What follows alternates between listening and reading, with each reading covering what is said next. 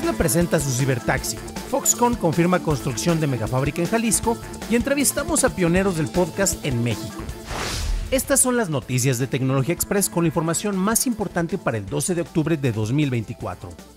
El CEO de Tesla, Elon Musk, presentó el Cybercab el pasado jueves. El vehículo hizo su debut en el estudio donde se hizo el evento en Los Ángeles y no cuenta con volante ni pedales y su precio base es de 30 mil dólares y su producción iniciará en el 2026.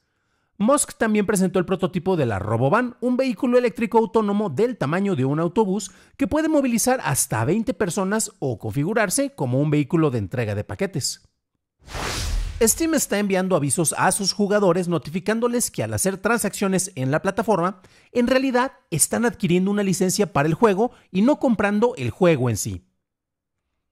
Esto es una medida preventiva ante una nueva ley en California que entrará en vigor el 2025 y obliga a las empresas a admitir que las ventas digitales no otorgan propiedad a quien las adquiere.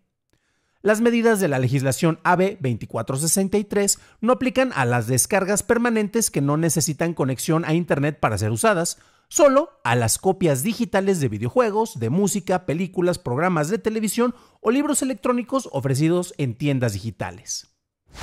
Apple TV estará disponible dentro de Prime Video por un costo de 9 dólares con 99 centavos al mes, que es el mismo costo de suscripción cuando se paga fuera de esta plataforma. Con esto se busca reducir la tasa de cancelaciones al servicio ya que se puede administrar dentro del ecosistema de Prime. La plataforma de Amazon ya ofrece más de 100 distintos servicios en los distintos países en donde tiene presencia. En el último capítulo de la telenovela brasileña de Musk no sabe de leyes, el juez de la Suprema Corte de Brasil, Alexandre de Moraes, ordenó a los reguladores que tomaran medidas para permitir que los habitantes del país puedan acceder a la plataforma antes conocida como Twitter, después de haber sido bloqueada por cinco semanas. Esto viene después de que X aceptara eliminar cuentas de usuarios políticos que propagaban desinformación, se pagaran las multas impuestas y se designará a su representante legal en el país. Rachel de Oliveira Vila Nova, quien fue nombrada como dicha representante cinco semanas después de que ella renunciara a este puesto. Pasamos a la noticia más importante del día, y es que en Jalisco el gobernador Enrique Alfaro confirmó que el gigante tecnológico Foxconn empezó a operar en el estado. De acuerdo con el funcionario, la empresa china ya está trabajando en el proceso para la adquisición de una megaplanta, aunque los detalles sobre la ubicación y el monto de la inversión se darán a conocer en las próximas semanas. Esto también fue confirmado por el presidente de la empresa Yong Liu y el vicepresidente Benjamin Ting, el cual dijo en la conferencia anual de la empresa, la Hon High Tech Day, que están construyendo la mayor planta de producción de GB200 del planeta. El GB200 es un superprocesador usado para la producción de servidores de Nvidia, también conocidos como Blackwell, la cual es la plataforma de nueva generación de esta compañía. Estas fueron las noticias y ahora pasamos a la entrevista. Pero antes de hacerlo, recuerda que puedes tener estos episodios sin publicidad si me apoyas directamente en patreon.com diagonal noticias de tecnología o con una suscripción en Acast. En esta ocasión, en lugar de un análisis, les traemos la primera parte de una charla que tuvimos con Edgar Luna, que fue el director de Frecuencia Cero, y Antonio Quirarte, quien fue en su momento el director general de Interplanet, cabezas de una de las iniciativas más importantes en la creación y promoción de podcast en México. Gracias a ellos y desde luego gracias especiales a Charlie del Río, el conductor del podcast Cinemanet, por su apoyo en la logística y producción de esta entrevista especial. Estamos en este momento, ahora sí que hablando con eh, dos de las figuras que yo creo que son más importantes en el surgimiento del podcasting en México. Les doy desde luego la presentación y la bienvenida eh, a nuestros amigos Edgar Luna y a Antonio Quirarte. Muchas gracias por, por aceptar esta invitación y ser parte de este episodio de este programa. Dan, muchas gracias por tenernos aquí y encantados de participar para platicar un poco de esa historia del podcasting en México. Platíquenme de Frecuencia Cero.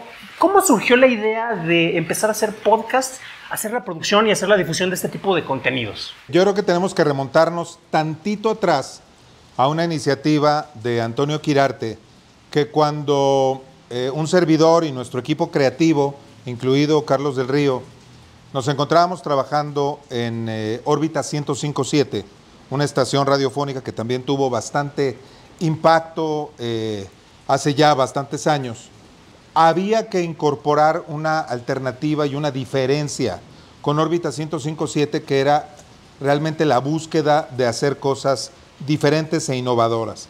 Entonces llegó Antonio Quirarte eh, con una propuesta que hicimos realidad y fue hacer la primera estación de radio en México que tuviera un streaming permanente 24 horas en vivo. Y creo que ahí eh, hay un antecedente del que no se habla mucho, pero que es muy relevante.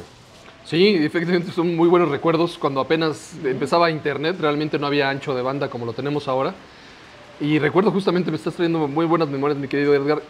Teníamos que haber, tuvimos que comprar una tarjeta muy especial para poder estar recibiendo la frecuencia de las ondas eh, hercianas por el aire, conectadas a nuestro servidor, que justamente estaba muy cerca de esta zona donde nos encontramos, para estar transmitiendo este, en tiempo real. O sea, realmente estábamos recibiendo la onda y mandándola a internet. Entonces, justamente eran esas iniciativas que teníamos que estar buscando para diferenciarnos en esos tiempos de cuando empezaba la, pues, la alta tecnología. ¿no? Entonces empezamos a desarrollar también, eh, también fue la primera estación que tenía una computadora dentro para poder atender los correos de los, de los radioescuchas y demás. Entonces, eso fue, creo que, eh, marcó por lo menos la, oportunidad de conocernos. Y me parece que había un tema ahí de ecosistema, de, novedad, de innovación, porque Antonio Quirarte con Interplanet fue el, verdadero fundador del acercamiento masivo a poder obtener una conexión a Internet.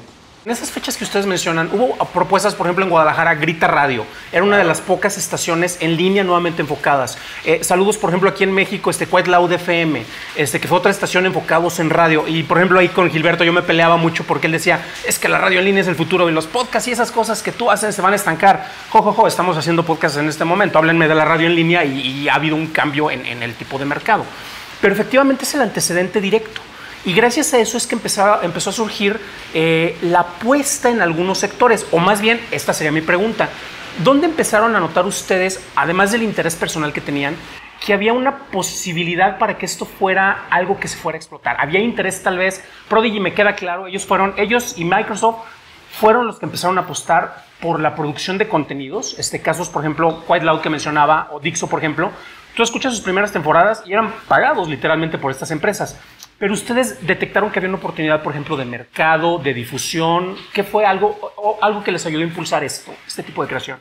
Hay una convergencia en un momento muy particular donde un grupo de creativos, incluido Carlos del Río y otros tantos, formábamos parte de la radio tradicional, donde yo dirigía una estación eh, de radio en otro momento que por circunstancias se vio cortada su transmisión y entonces eh, convergen estos intereses y Antonio Quirarte lo que nos propone es, oye, ¿cómo sumamos a este grupo creativo? ¿Cómo sumamos las ideas innovadoras? ¿Y cómo exploramos hacer esa otra radio? Que en aquel entonces no veíamos todavía como un formato tan definido, aunque el podcast literal estaba naciendo, y que no iba a ser una radio en internet, sino iba a ser crear contenido útil, y perdón que recurra tanto al concepto, pero para ponerlo a disposición de la gente cuando quieras, donde quieras. Y ahí es donde amalgamamos la, propuesta y donde pudimos crear condiciones para explorar que algo pudiera ocurrir. Sabíamos que paralelamente, y esto lo, lo veo siempre como cuando se hizo el descubrimiento de la penicilina, ¿no? No fue un descubrimiento que solo ocurriera en un lugar, habíamos muchos creativos, muchos tecnólogos buscando innovar y buscando alternativas y al final hubo una convergencia. Cuando surgió también la idea, me acuerdo perfectamente esa escena, estaba, estaba yo en mi escritorio, llegaba Edgar, no me acuerdo, una reunión o algo, le dije, tienes que conocer esto, ve esto. Y justamente Adam, Adam Curry fue uno de los primeros y otro podcast que yo empezaba a escuchar no había muchos, había muy pocos. Era de un chico alemán que eh, reproducía en, inglés y era, se llamaba Photography eh, in the Attic, eh, fotografía en el ático. Y era, un era pláticas de fotografía en podcast, pero el cuate dominaba el medio, lo hacía muy entretenido, metía efectos de sonido y demás. Se lo muestro a Edgar y me dijo, esto lo podemos hacer mañana, ¿no? O sea, y tengo justamente, tengo por ahí todo un, todo, todo un grupo de personas ávidas de espacios este, para ser escuchadas y es justamente cuando, cuando, cuando surge esto. ¿no? Eh, pero sí me acuerdo perfectamente, bueno, hablando de esas influencias, pues eran ese tipo de podcast donde todo el mundo estaba experimentando en ese momento. Y si algo que recuerdo de, de Adam Curry era su voz, ¿no? O sea, esa, esa profundidad, ¿no? E incluso me acuerdo que me decías, no, es que solo podemos hacer con un condensador. Y dije, no, ¿quién más que, que Edgar sabe de esto, no? Y justamente ahí es donde se dio ese, ese clic para poderlo iniciar, ¿no? Entonces, influencias pocas había realmente, todos estábamos e- en eso, pero realmente, eh, eh, sin duda de la radio misma, ¿no? O sea, eh, si tú escuchas los primeros episodios, pues todos tienden también a tener un poco el, el- formato, la cortinilla, la entrada, la escaleta, o sea, a, a diferencia de como ahora es, que ya está democratizado, que es, te arrancas, ¿no? Es- es, Vamos a hablar de esto y, y- y vámonos, ¿no? Eh, en ese entonces cuidaban muchísimo la calidad también por lo mismo, ¿no? O sea, sí sentíamos que estábamos en vivo y estando, siendo escuchados por millones de personas como cuando comúnmente lo haces en, eh, al aire, ¿no? Entonces, eh, pues realmente fue, fue una influencia muy grande del, del radio, por eso es la otra radio, ¿no? Y por eso frecuencia cero, ¿no? El anular las frecuencias de la radio, etcétera. Pero, pues, poca- pocas, pocas eh, ejemplos habría como tal en, en ese momento también. Y fíjate que a mí me gustaría apuntar dos temas en complemento a lo que comenta Toño. La primera, tuvimos una discusión editorial muy interesante. Este grupo creativo veníamos eh, de la radio tradicional donde la línea editorial siempre es un existente no mencionado. Y más porque en algún momento nos conocimos y coincidimos en la radio pública.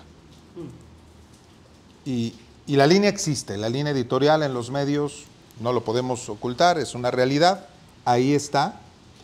Y cuando platicábamos, Toño y yo, coincidimos en que queríamos hacer un medio que no tuviera ese control editorial de nadie, un mensaje libre. Y suena muy utópico, pero creo que es muy poderoso en el sentido de decir, somos dueños del mensaje y no va a haber quien nos controle. Y yo creo que en un segundo sentido era poder atender a las necesidades de contenido que la gente tuviera, porque comúnmente las programaciones en el radio estaban creadas con base en alguien que quería transmitir ciertos contenidos, pero no pensando en cuál era el apetito de la gente. Y probablemente un programa de fotografía, pues en la radio no pudiera haber existido.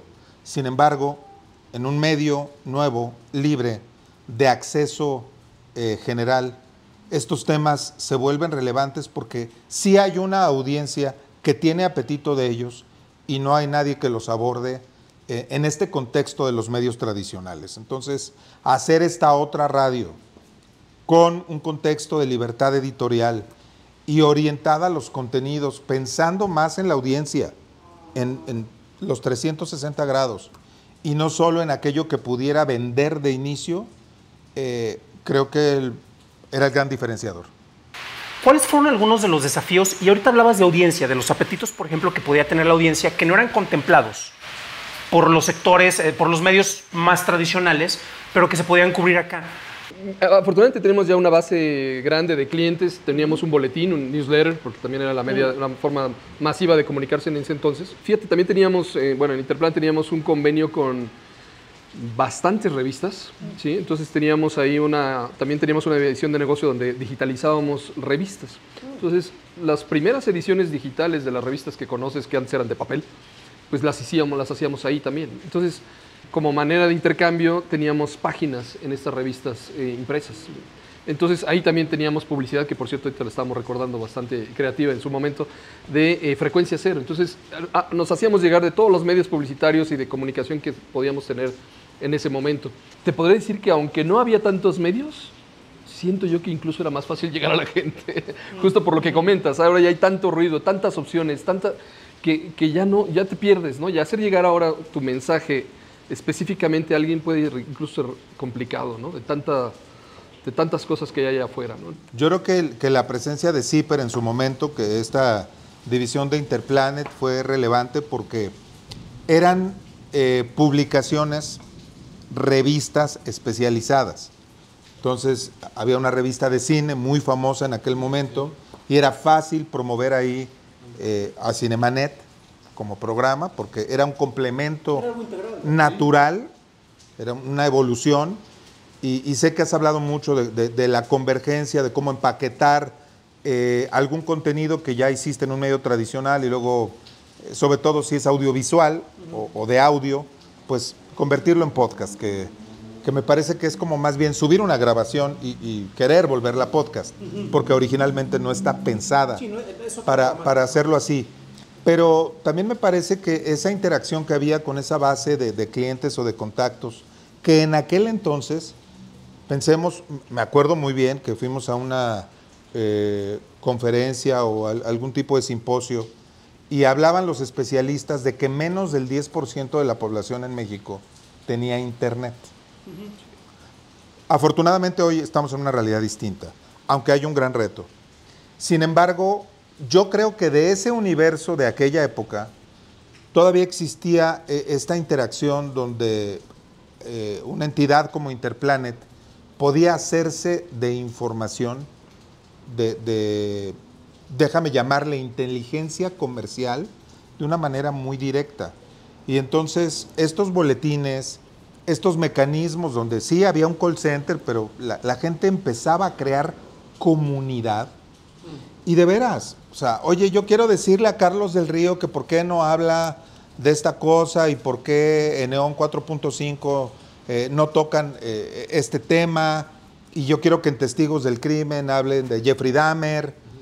Eh, realmente estábamos construyendo esta primera comunidad de consumidores de podcasters que además hacían esta publicidad de boca en boca y que de manera natural, pero, pero sí en una evolución orgánica, eh, empezaron a hacer lo que creciera de forma muy importante. O sea, de repente de la nada ya hablábamos de, decenas de miles de descargas y pronto empezamos a hablar de cientos de miles en algunos de los programas.